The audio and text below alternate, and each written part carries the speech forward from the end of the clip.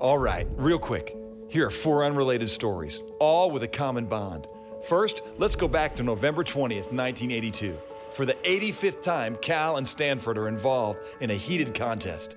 After a wild game, Stanford, led by young John Elway, takes the lead with just four seconds left. The Stanford fans and band are already celebrating, and why shouldn't they? The game is over. One final play begins as Stanford kicks short to Cal. A mad scramble ensues. Laterals follow near tackles, then a blind over the shoulder lateral. A mad race to the end zone. Down goes the Stanford trombonist as the touchdown is scored. The unthinkable happens and Cal wins. As it turns out, it wasn't over. How about this one? Meet the Lilies, Russell and Terry. It's 2001.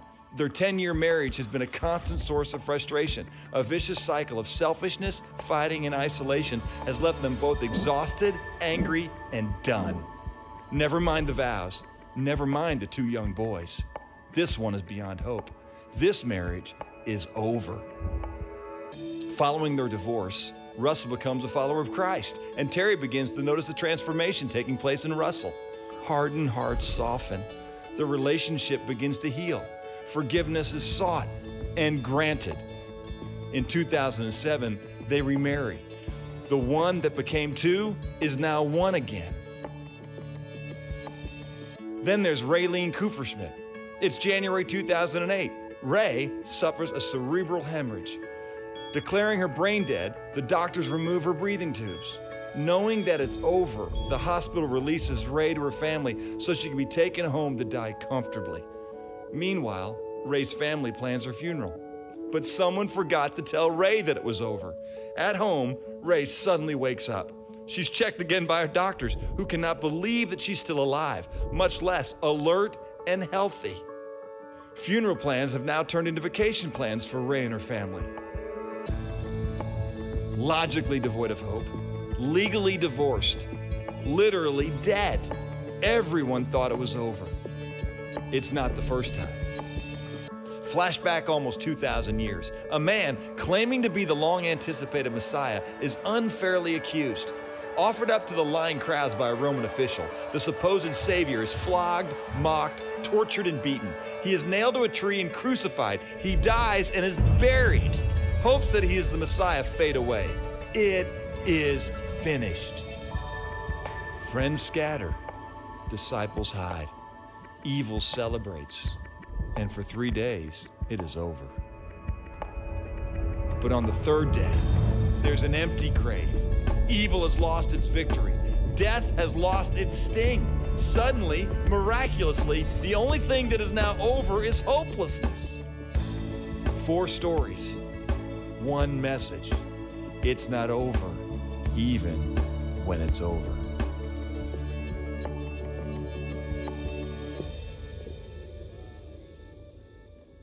Amen, huh? That's a good one. Well, good morning, everybody, and welcome to Victory. We're glad you're here. We're very glad you're here. If you're a visitor, we're especially glad you're here. We're honored that you would join us today. Matter of fact, I know we'll have at least three, so everybody look around and make sure you make them feel welcome, give them a little love.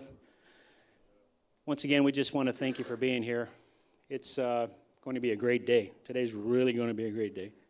We got several things going on today, and I think you're going to be very happy. We should always be happy no matter what, because it's special because the Lord is here with us. And if all you got to, if you want to make it extra special, just reach out to Him and say, Lord, give me something that you want me to have today so I can walk with you. Okay? If you are a visitor, we have a resource table back there. We have a gift for you, which is a book. If you haven't got one already, please do get it. And we also ask that you would please uh, use your Connect card. There's a Connect, fill out a Connect card. Now, I promise we won't bug you to death if you fill out the Connect card. All we want to do is meet you and walk with you as you continue, we pray, your relationship with Jesus Christ. Okay? So, once again, my name is Jock Seals, um, and I'm one of your, I'm honored to be your chairman of the board and one of your deacons. I've been here for 30, I think coming up on 33 years. And I'm a rookie compared to some here. Some here have got a lot more than I do. So I'm still a young, young buck in the faith. So we just want to ask that you enjoy your time here. Ask God to meet with you. And if you would, why don't you stand up for just a second, please? If you can, if you can, if you're physically able. And if you feel comfortable, COVID's long gone now. I would like for you to at least say hello to one person in the congregation.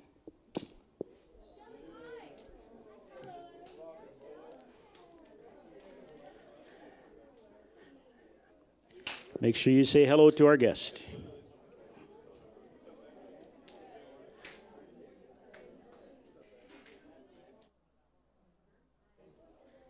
I love seeing this, but uh, unfortunately, you guys start making your way back to your seats. If you can hear me. Thank you so much for taking the time. Are you all ready to praise the Lord? Please join the praise team as they get ready to lead us into the presence of the Lord. Thank you so much.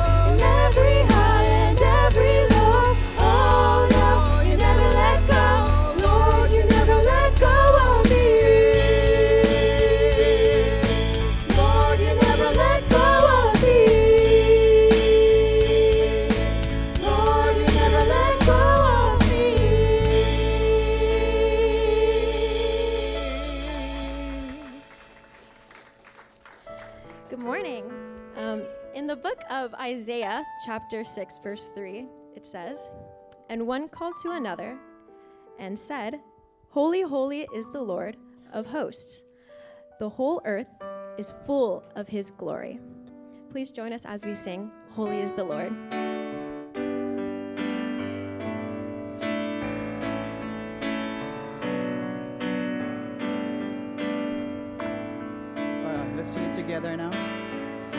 we stand and lift up our hands. For the joy of the Lord is our strength. We bow down.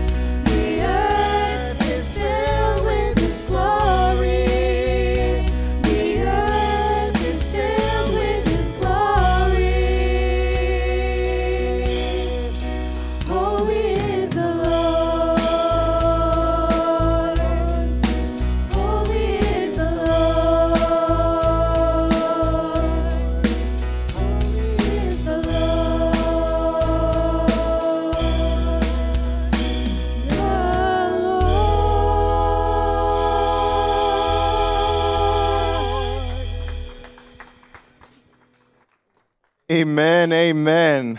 Worship team, thank you guys so much. Can we just give the Lord one more hand? Praise God.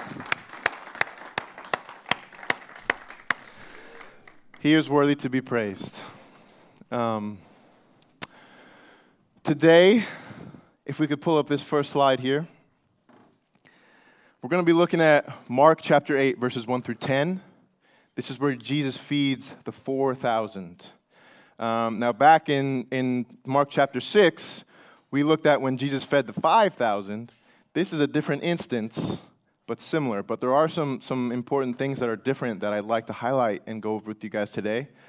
Um, but look at this look at this image I have here of a light bulb.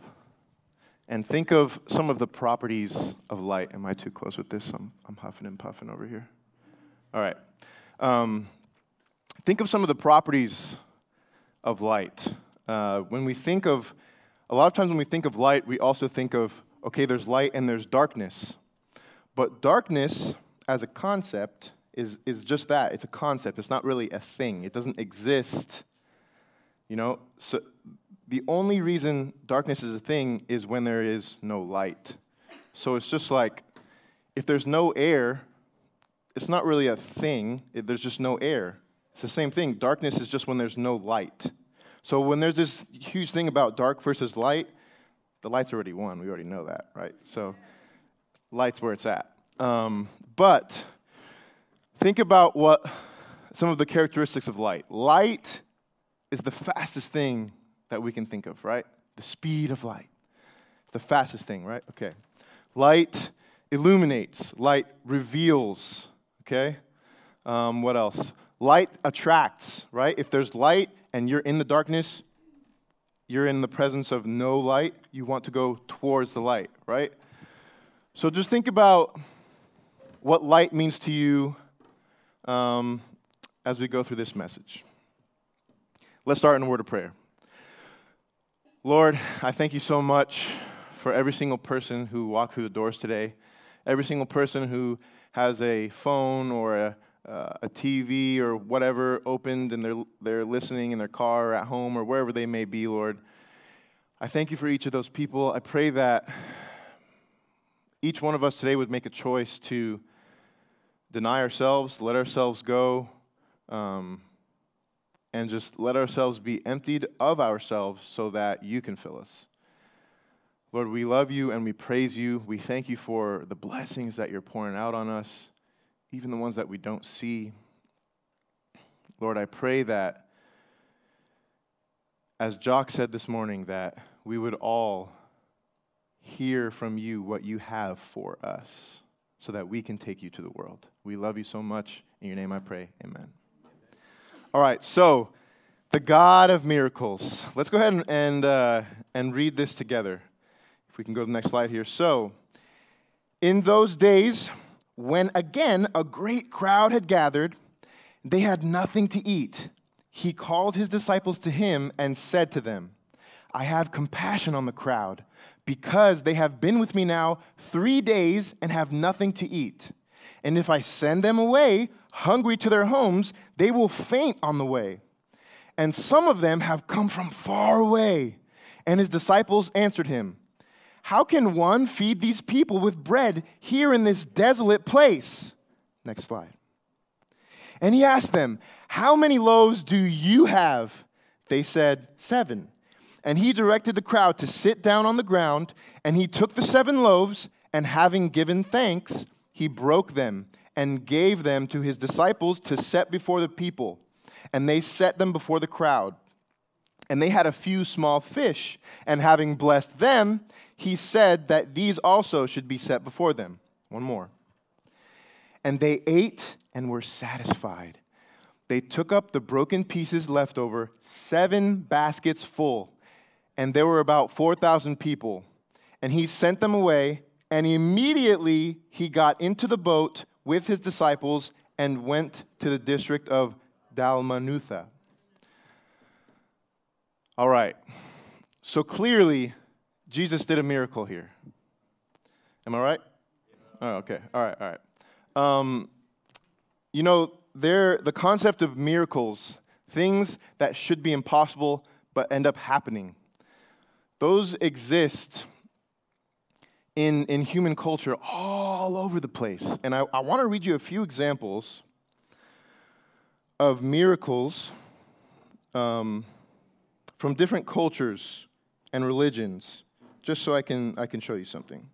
All right, so this, there's, there's one miracle that's recorded by the Buddhists, and it says it's, it's called the miracle of the Buddha walking on water. One day, the Buddha was walking along the riverbanks when some naysayers and skeptics challenged him. And the Buddha said to them, Just watch and you will see. And he walked across the river without sinking. His disciples were amazed, and the skeptics were convinced of his spiritual prowess. He walked across the water. Does that sound familiar? All right, let's look at this other one. The miracle of Guru Nanak and the sacred river. In the Sikh tradition, Guru Nanak, the founder of Sikhism, performed a miracle at the age of 28. While bathing in the river Bain, he disappeared and was presumed drowned. Three days later, he reappeared, proclaiming that there is no Hindu or Muslim, but only one divine truth. And this revelation marked the beginning of his mission. He died and then rose three days later. Does that sound familiar? And then this one. St. Francis of Assisi, known for the love of his love of animals, once encountered a fearsome wolf terrorizing the town of Gubbio.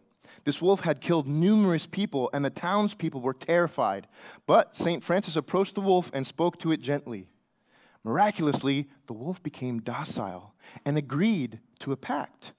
It would no longer harm the townspeople if they promised to feed it. The wolf lived peacefully in the town for the rest of his life. You guys remember a story about Daniel and the lion's den? Hmm. Hmm. Interesting. Very interesting that all these miracles seem to be derived from one place. So let's talk about this miracle that we just read about today. if we can go to the next slide. All right, so first of all, in the first verse that we're looking at today, it says, In those days when again, okay, the word again, a great crowd had gathered. That means that great crowds had been gathering multiple times. So this is kind of Jesus' calling card now. It's a characteristic of his ministry that when he is somewhere, great crowds gather. Now, do great, do great crowds gather for no reason? You can answer. Okay. Yeah, so, um, so there's a great crowd here, and there's definitely a reason for that. It says that these people had nothing to eat, and so Jesus called his disciples and said to them, I have compassion on this crowd because they have been with me now for three days and they have had nothing to eat.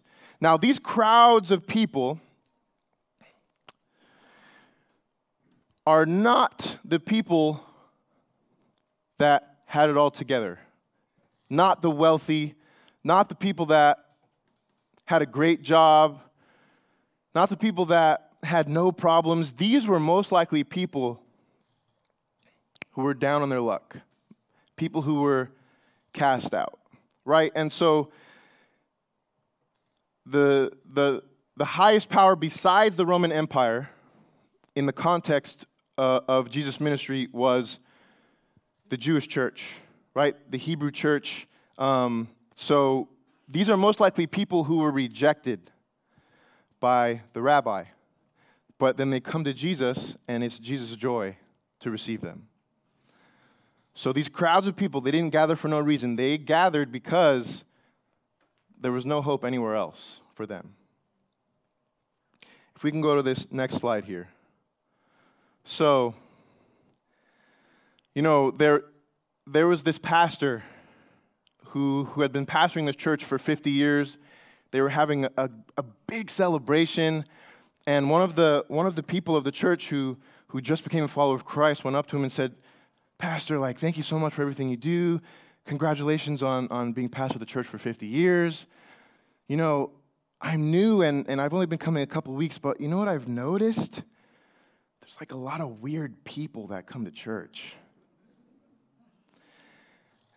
Why is that? Why are there so many weird people that come to church? You know what? I'm weird. And if you could take a second, turn to someone next to you and say, hey, you're a weirdo. If you don't want to say that someone next to you is a weirdo, feel free to point at me and say, you're a weirdo. All right? Because here's the truth. Here's the truth. In one way or another, all of us are weird. Can we agree on that? But that's the calling card of Christ. Christ, and this, this pastor, he answers, he answers the woman, he says, You know what? I think I know why there's a lot of weirdos. Because wherever there's light, there's usually bugs. Right? Our God attracts us bugs. He's the light, right?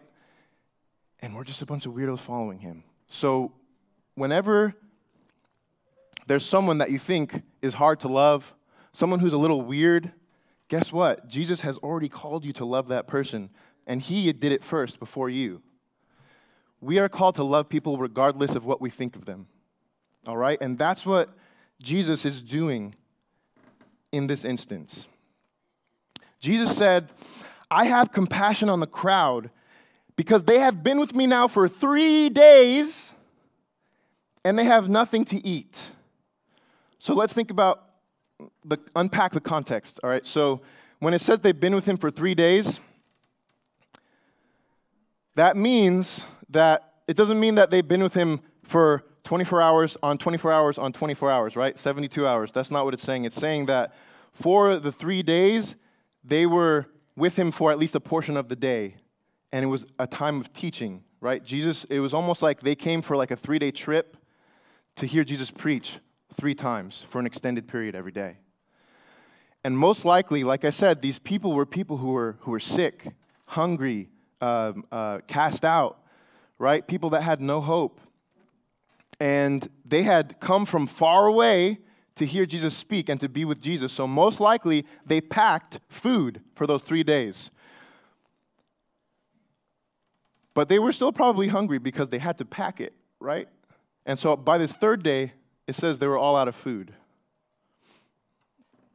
They've been with me three days and they have nothing to eat. So, think about the commitment of these people to drop what they're doing and be with Jesus for three days. It's commitment, but it's also a picture of a desperate person.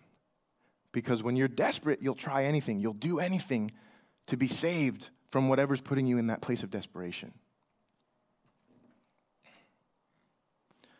Jesus said, If I send them away hungry to their homes, they'll faint on the way, and some of them have come from far away. So Jesus knew that these people were already in a place where they didn't have food long enough to where if they go back home right now, they'll faint along the way. And if they faint along the way, most likely they'll die.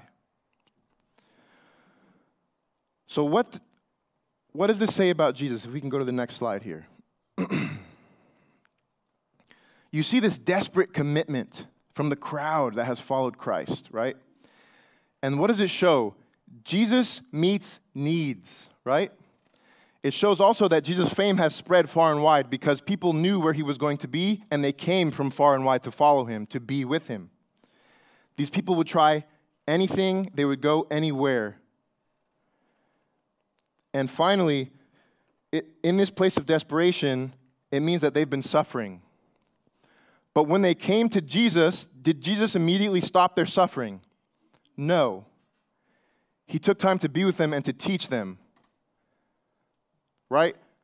What does this point to? It points to the fact that even when you're with Jesus, it doesn't mean that your life is magically going to be easier. Most likely, your life is going to be harder. These people were with him for three days and endured that three days to the point where if they went back home, they would have fainted.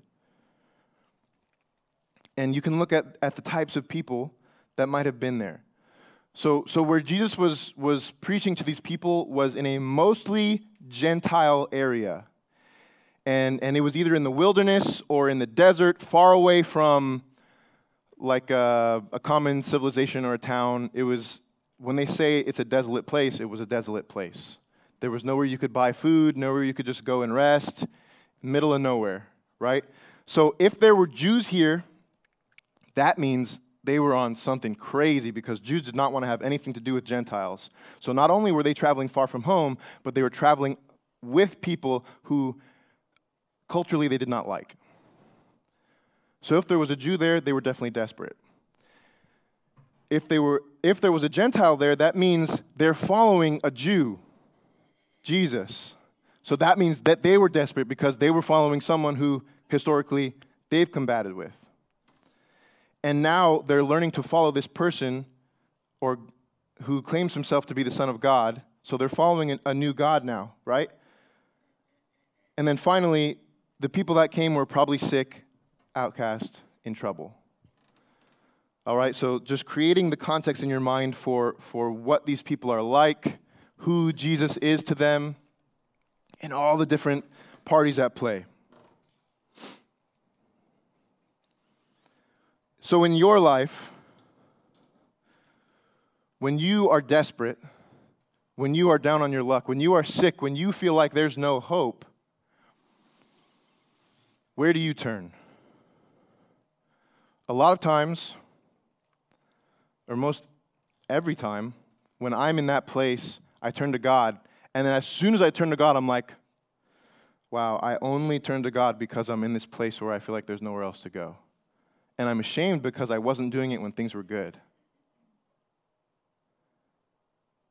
And it's the same thing with, with, with this context. There was probably no one who was fine and dandy that came to follow Jesus that day. And yes, Jesus is that person. When we're down, when we're desperate, when we need him, he's going to be there and he won't judge us for needing him.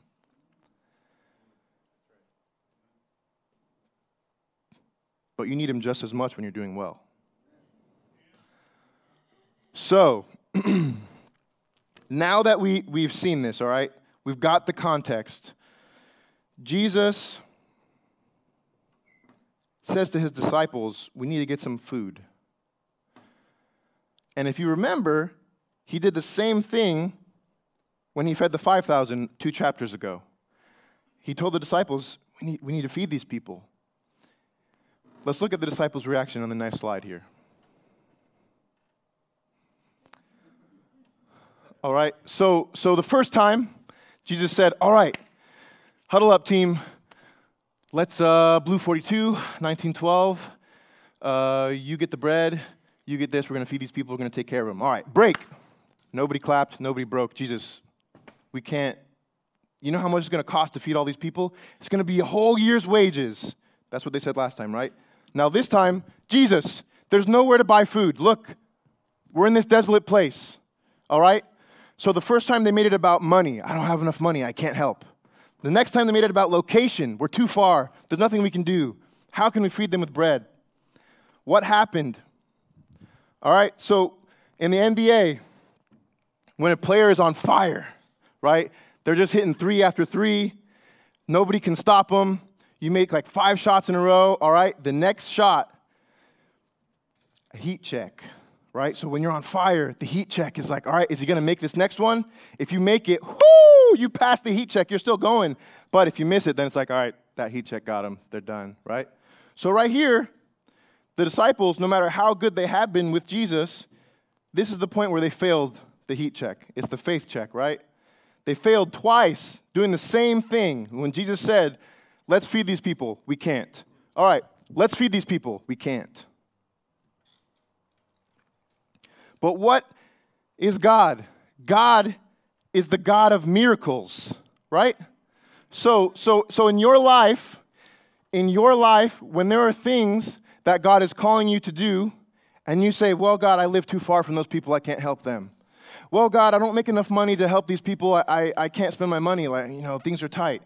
Well, God, this, well, God, that, blah, blah, blah, blah, blah, bull. Right? Jesus is the God of miracles, and He's created you to have strength through Him to serve other people. So, whatever excuse you come up with, you're just like the disciples here faith, failure. Let's go on to the next one. So, last time, when, when, when Jesus fed all these people and the disciples said, No, we can't do it, there was a little boy who, who, who manned up and took it on himself. He said, Lord, I have these loaves and, and these fish. I know it's not a lot, but it's a start. And then Jesus multiplied those loaves and fish to feed the 5,000. This time, what does Jesus do? He puts it on the disciples to put some skin in the game. He said, How many loaves do you have? And look at how he did that, right? The disciples were complaining, Lord, we can't do that. Look where we are. We're in a desolate place. We can't do it. He didn't rebuke them, he didn't tell them they were stupid. He didn't say, What's wrong with you? Go and time out. He asked them a question that would produce a solution. Whew. That is sick right there. And the reason I'm saying that so sick is because I admire that about Jesus. Because a lot of times when people come at me with bad attitudes, I push back with an attitude. My emotions rise, and I say, What's wrong with you? But Jesus didn't do that. He asked them a question gently that would provide a solution. That question was, How many loaves do you have? And they answered him. They said, Seven. So, what does Jesus do next? Now that he has called an offering from the disciples to put them skin in the game, what does Jesus do next? Which, by the way, that's another picture for you. Jesus does call us to give, right? And when we do give, what does he do with that? He multiplies it. All right, keep it going here. Let's go to the next slide here. So, when Jesus finally creates the miracle, there are a few things that he does beforehand that are so important. This, this next verse, verse 6, is so packed with crazy, crazy th- stuff here. Okay, so, so Jesus says, He directed the crowd to sit on the ground. So this isn't just like a quick thing, right? He's not just taking the bread and, all right, everyone pass by, take it, take it, take it, take it, take it. No, everyone sit down, take a deep breath. Let's have a nice, relaxed meal. We're going to do this the right way, right? So sit down on the ground. Let's do this together. Then he took the seven loaves, and what did he do? It says he gave thanks. What does this show? It shows three things. Jesus being before these people and giving thanks. One, it's modeling to these people what they should do with the blessings that they have. Always give thanks to God. Always acknowledge that you have what you have and you are who you are because Jesus made it so. Always. So he's modeling. That's one. Two, he is honoring God himself. He is saying, Lord, thank you for this. Right? He is putting himself in a place of humility as the, as the human embodiment of God to his Father. And finally, this blessing is a blessing of preparation. You can think of it like I don't know if you ever had the experience where you went to a friend's house and, and your friend's mom was just such a good cook. And it's like you could smell when she started cooking and you just got, you're like, man, I can't wait. Like, we're to eat. It's to be so good. And it's like, or maybe you didn't know and you're just playing outside and all of a sudden, hey guys, I brought some food for you. You're like, oh my gosh, yes. Right? Like, it's, it's, it's that point. Like, the mom took time out of her day to prepare food that we never asked for. And that's what Jesus is doing here. so imagine the creator of the universe is taking time to prepare this food for you. So, what does he do? Now, here is where the miracle happens. He breaks the bread, and in doing so, he's dividing the bread. But in his division, it is multiplied. So it's reversed from what should be happening. Jesus created multiplication through division. That shouldn't be possible, but it is through Jesus. Right? So so so but also look at how how Jesus performs these miracles. If it was any of us or at least if it was me, my inclination would just be like, we need food? boom, make it all like appear and everyone can just grab what they want, right? Like that's a spectacle. Everyone can see it happen right there. It's amazing. Like just grab it. But even in the way Jesus performed miracles was humble. He did it where if you weren't paying attention, you probably wouldn't even know that it's being done. He was breaking it and telling the disciples to set it before them, breaking it, telling the disciples to set it before them. He didn't make a huge thing out of it. He was performing miracles through service. He was performing miracles by helping others, right? He didn't make a big thing about it. Broke bread, gave it to his disciples, they took it to the people. There was no me, me, me, look how cool I am, Jesus making all this bread. He did it out of service. And that's so beautiful because we think about miracles. You think about, like, well, if God could just do these miracles, why doesn't He just throw Himself off the building? The angels will catch Him, like Satan said, right? When Satan was trying to tempt Jesus, the way that Satan wanted Jesus to perform the miracles was for instant gratification, was for huge spectacles, was to show how great He was. But Jesus performed miracles. Why? Every single miracle He did was serving someone else. It was never about him. Think about it. Every single miracle. And the greatest one of all, when he died and rose three days later, that was for us. Every miracle that God performs, every miracle that God does, is for serving others. So, next, oh, another important thing. Another important thing about this is Jesus uses his disciples. He uses them to reach the people directly. God doesn't give the bread to the people directly. He tells his disciples, I'm going to break this, and then you go out and you take it to the people. He uses us to serve others. He uses us as a part of his miracle, right? He, he delegates and he empowers. And that's what this, this picture is right here. Jesus sending out his disciples to the world. So, this picture of this miracle of Jesus dividing the bread and it multiplying is the same as when he divided his disciples and they went across the world and they multiplied his word, right? And they multiplied his church. The very thing that God is doing here with multiplying the bread for these people to eat is the very thing that God calls us to do as a church. We need to go out and share his word. We need to go out and be who he has called us to be. We are that bread. He is breaking us and sending us out. Let's keep it going. Next one here. So, and then by the way, they also had fish, right?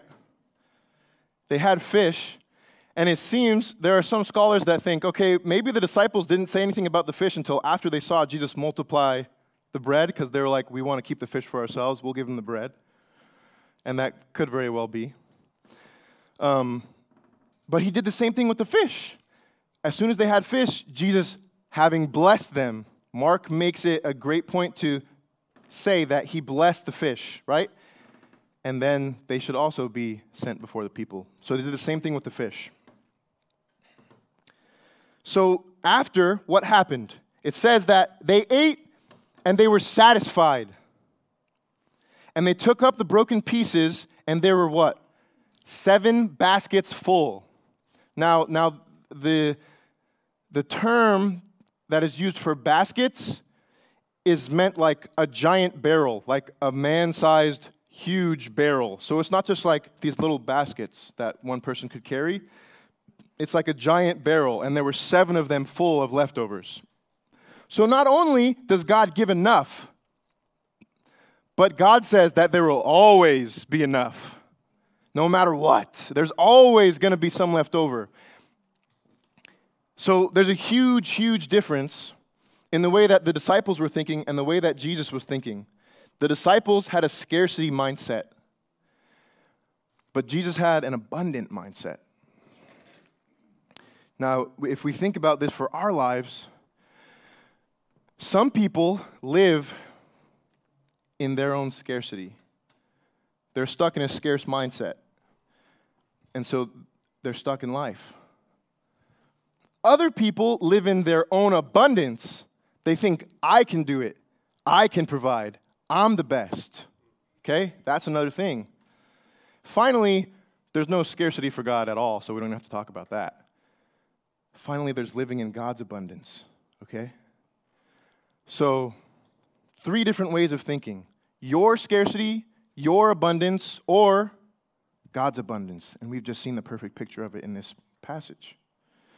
So, so let's take a second to, to read about some of these things. So, when you're thinking in a scarcity mindset, you think there will never be enough. But when you live in God's abundance, you know there will always be more. Scarcity says, I'm competing to stay on top. I need to gnash and claw at other people. But God says you can collaborate to stay on top. Scarcity says, I need to hoard everything I can. I need to make sure I'm okay. Everything I need to take from others, right? But God says, be generous with others. Scarcity says, I'm not going to offer to help others. It takes too much of my time. I can do stuff to put myself ahead. But the Lord says, freely offers help to others. Scarcity says, be suspicious of every person because you don't know what they're capable of. But God says, trust and build rapport. Now, that doesn't mean be stupid, but it means to trust God. Scarcity says, I resent competition. I hate that I have to go and work to get what's mine. But God, He says you should welcome competition because iron sharpens iron. Scarcity says, I'm afraid of being replaced. Everything I do is, is because I don't want to be replaced. God says you should strive to grow and be better and better and better, not even thinking about being replaced, just thinking about being the best you can be. A scarcity mindset believes that times are tough. God says you should believe that the best is yet to come. Whoo! Can't wait for later on. Scarcity says, I believe that it's getting worse and worse. The pie is shrinking. But God says the pie is growing. Scarcity says, I need to think small. I need to avoid the risks. God said you should think big and embrace the risk that comes with life. Scarcity fears change. We need to keep it the same. If we change something, it'll mess up. There's too much that can go wrong. But God says, take ownership of the change, be part of it. Amen. And what does it say? Jesus fed 4,000 people. They were satisfied, and he sent them on his way. And by the way, these 4,000 people were probably much more because most of the time, when it's translated, the word is for 4,000 men, not counting women and children. Let's go to the last slide here. What does it say Jesus did after this? It says, after he sent them away, he immediately went in the boat with his disciples to their next point of mission, to the next. Immediately, no resting. That's the power of God. When you think of these people who were hungry, who were, who were already probably sick, maybe some of them already dying, and they made that trip out there, they weren't thinking, well, maybe they were, but they didn't let it stop them. They didn't let their hunger, their, they didn't let their, their, their hopelessness stop them from seeking out the answer to their troubles, to seeking out who's going to save them. How many times in our lives do we say, Oh, I can't do that because it's going to be right after work and I'm going to be hungry. I need to take a shower. I need to get ready. Grow up.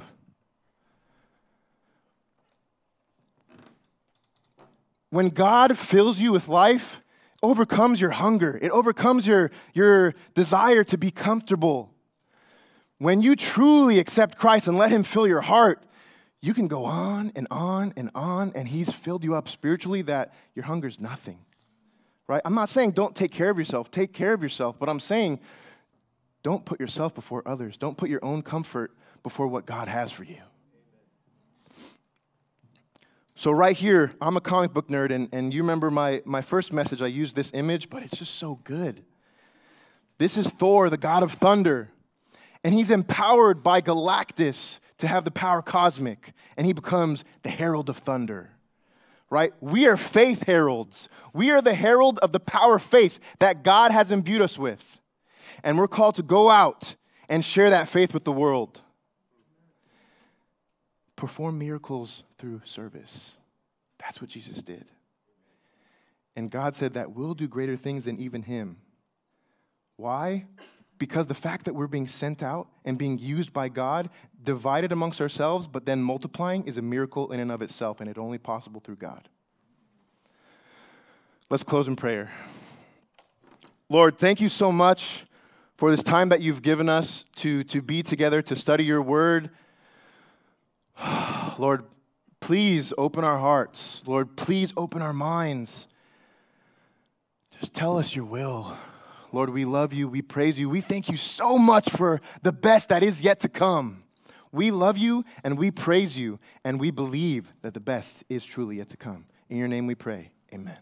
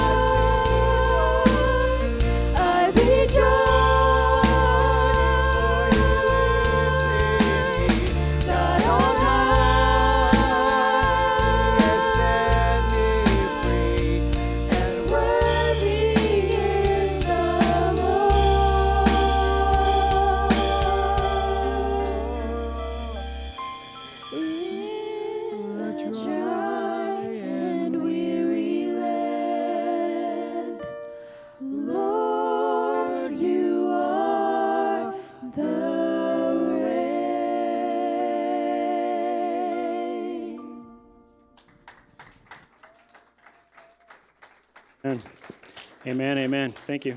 Thank you, praise team. I guess I'm thanking myself, so, but uh, didn't mean it that way. If you accepted Jesus Christ as your Lord and Savior today, you took a step of faith. We want to be here to help you, walk with you, and do anything we can to grow, grow, your, grow your faith. Please let us know. Please don't walk out that door without letting one of us know. There's several people here. You can walk up to anybody and they'll give you direction. Talk to pastors, talk to the board, even talk to me if you'd like. But uh, please let us know. If we don't know, we can't help you. If you put your faith in Jesus Christ today, you can also, if you're out there in internet land, let us know via info at victoryanaheim.org. Please. If, you've ne- if you did make that decision, it was the biggest decision of your life. Guaranteed. I'm, I'm a changed man many, many years ago because I accepted Jesus Christ as Lord and Savior. So we, we do have, uh, we want to welcome once again our visitors. And once again, please do us a favor and go back to the table there and get your copy of the book we have for you back there. Fill out a connection card if you will. Once again, I promise we're not going to call you every 15 minutes and bother you, okay? I said, uh, I got, look at my paper now. Excuse me. Um, oh, okay, we're transitioning into the offering. There we go. I knew there was something important going on there. We take an offering here at Victory. What's the purpose of the offering? The purpose of the offering is to help us spread the gospel of Jesus Christ, but also to help us pay the bills that need to be paid. We ask that you would please give. If it's a little bit that you can give, a little bit's fantastic. If it's a lot, please, by all means. We, uh, we practice the tithe in victory, and the tithe is 10%. That doesn't mean you have to give us 10%, don't have to give the Lord 10%. But if you give the Lord 10%, I know I'm repeating myself from about three weeks ago. If you give the Lord 10%, He'll turn it into 90%, and you'll be amazed at what He can do with that little tiny bit of money to reach those many, many, many people outside of our, these doors that need Jesus Christ in their, in their life. Bless you as you give. You can also give at victoryanaheim.org slash donate. Thank you. Thank you, Pastor Josh. I'm glad you got this here. I never would have thought and remembered that. But uh, and lastly, I think we have two announcements. Does anybody here like bacon? I like bacon. I like bacon. I'm like I, I could I could sit here and do a full excerpt of green eggs and ham with just bacon. I will eat bacon. I will eat bacon anywhere. Um, but we have Father's Day coming up. What day is what day is Father's Day? The 24th. I should know that of June, Sunday. We're next Sunday. We're going to have the bacon is back by by demand, popular demand. So if you come early, you get to have some bacon. Now the bacon runs out. It runs out. So make sure you're here early. Okay, don't come too late. We also um, want to let you know that fellowship groups are going to begin the week of June 24th. We have a goal, everyone, myself included, of having everybody here in a small group. Small groups have uh, made a big impact on me when I was traveling all over the world all the time. If it wasn't for them, I would have been alone. You don't want to be alone. Don't walk through this life alone. Don't walk through this faith alone. Try to get connected with some of our small groups. And now, I'm going to turn it over to Pastor Dave. Thanks, Jocko. God bless everyone. So glad that we could be together in the name of Jesus. And um, D3, thank you for bringing a great message today. Um, you guys are going to be like, we want David to preach every week. He preaches shorter than me.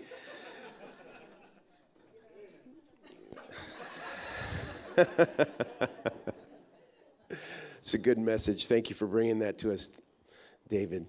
For those of you who don't know, David is my, my oldest son, and uh, thank God that I'm proud of him, proud of all my children. The, the Lord is good, when He gives us amazing children to, to steward and care for all of our lives.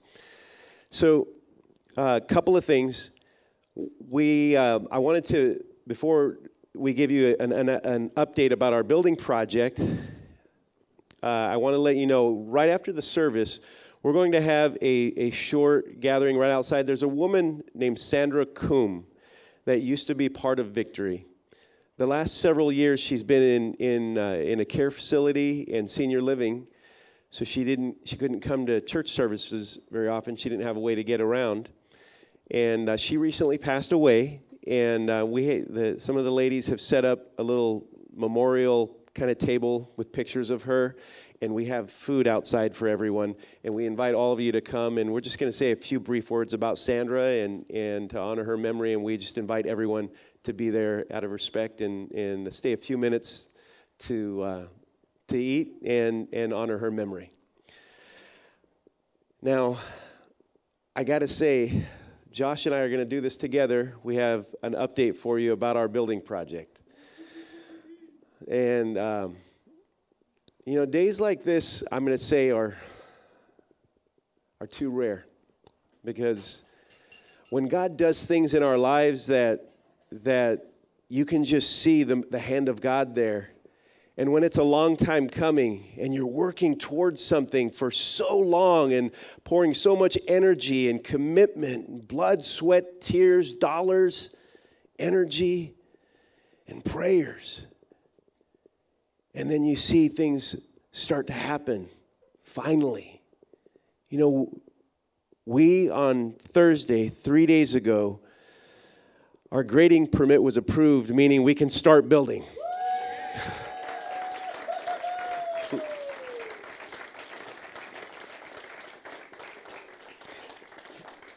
For our friends who are newcomers, and maybe this is your first Sunday with us, we, we have been meeting in this, in this school. We, we're thankful for Maxwell Elementary School and the, the Magnolia School District for allowing us to use this space. And we've been in this space since uh, we, we tore down our buildings two blocks away at 227 North Magnolia, just past Lincoln, between Lincoln and Crescent. And we have three acres of land right there that is prime land that we are getting ready to build this ministry center on.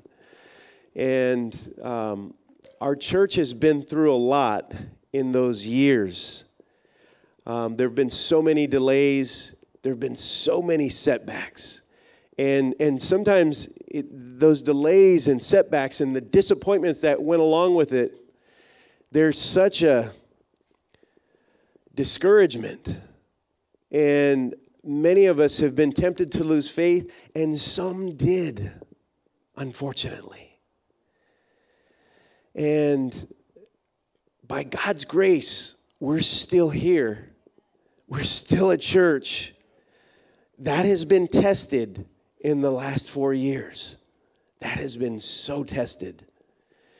And we had a dream that we believed in the Lord for. And we took some risk. And with every risk, there's the, the risk of failure. And it's not built yet, but we're getting ready to start building this building. we're going to give you some logistical um, updates right now that, that I'm going to let Josh give, and then he'll hand it back to me. But there's just some details that, that we want to go ahead and let you know the latest update on what's going on.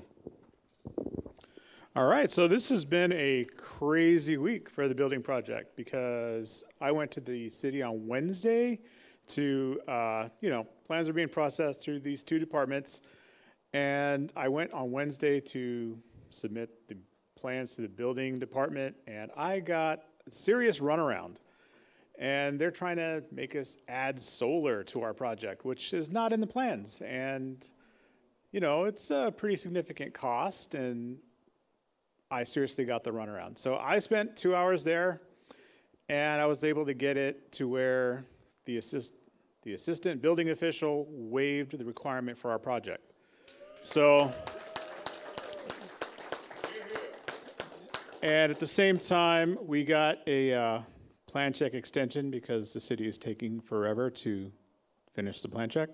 So, we have a, an extension that was granted, uh, so we're, we're good to go there. Um, and because of the whole solar thing, we thought we were going to be delayed on submitting the plans to the building department, the, the latest set. But I was actually able to get everything done, and so I actually submitted them on Friday. So they're, they're in the works. And, uh, you know, Pastor Dave just told you the, the great news. The grading permit is done and it's going to be picked up very soon. And that's like fully approved, which is great because it is the precursor to getting the rest of these check boxes that we need. So you have to have the grading done before they'll give you a building permit. You have to have the grading done before you can get the public and street uh, improvement. And once you get that, then you get the final checkbox, which is going to be public works development. So all of those things, it's like lining up. And we're finally there. And I'll tell you something, it's been one year today that I first walked the plans in for this round.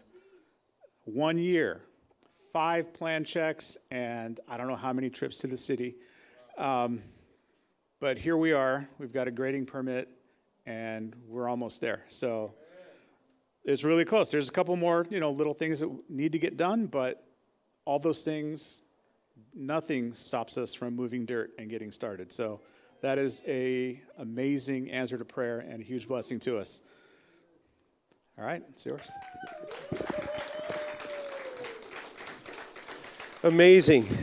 Amazing by God's grace. So amazing. Getting to this point has truly been one of the most remarkable things that I think our church has had to endure. And I, re- I mean remarkable as in a remarkable test, a remarkable trial, a remarkable test of your faith, of your belief, of your commitment. And this marks a momentous day. This right here marks a momentous day for us to move forward because this project is about belief in a future that doesn't exist. The, the church is not the building, we are the church. But the building represents a tool, an instrument, a place, a ministry center, a place of calling where people can come and find faith and come alive to faith, find healing for their lives, find life transformation in Jesus' name. Where people can be set free from drugs, from addictions, from everything that holds them back from being all that God intends us to be. And so I want to mark this moment with just a bit of celebration. If we can take a moment and celebrate. And I want to ask everyone to join me in lifting a glass. And you say, But I don't have a glass. And I say, We have a glass for you back there. Can everyone there's it's it's sparkling cider it's chilled and ready to go can everyone get a glass in your hand right now and can someone help me out by getting a glass to me some people make bring glass to others go get your glass and bring it together we celebrate what God is doing. God's doing something amazing in our church. God's doing something amazing in our lives. People online, get a glass that you can raise to right now to please join us. Get something. People are getting their glasses right now, so people online, go get a glass. Doesn't have to be sparkling cider, but get something that you can lift a glass to us. Thank you so much, Diane.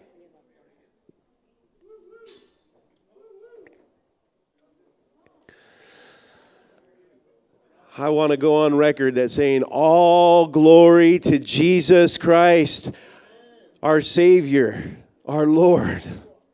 God is so good.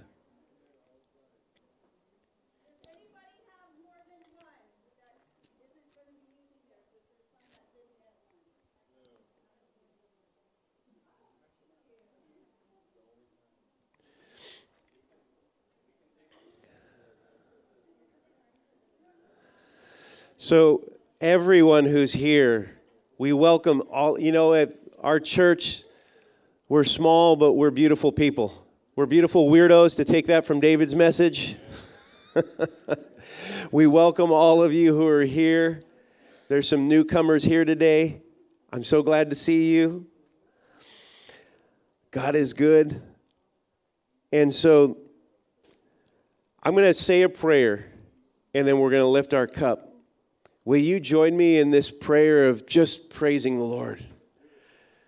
Heavenly Father, God of heaven and earth, the God of miracles, who makes profound changes in the world that make life better, the one who sets captives free, the one who releases, the one who heals, the one who breaks the chains of addiction, the one who sets us free from financial debt, the one who is our Savior, Father, Son, and Holy Spirit.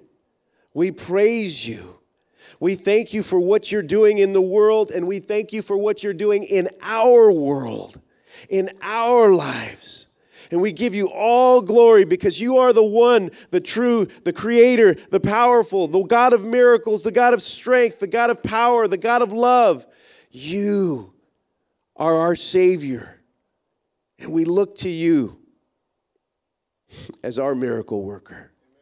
In the name of Jesus, we pray these things. And all God's people said, We lift a toast to our God on high. Praise you. Thank you for this day where we get to start building our building. In the name of Jesus, here's to the Lord.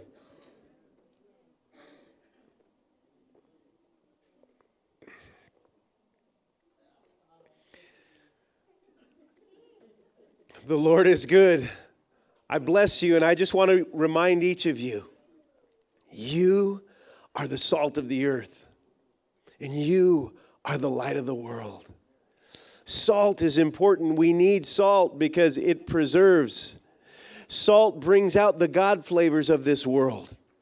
We need God's people to go out those doors and help others taste and see that the Lord is good. Be light by serving in the name of Jesus.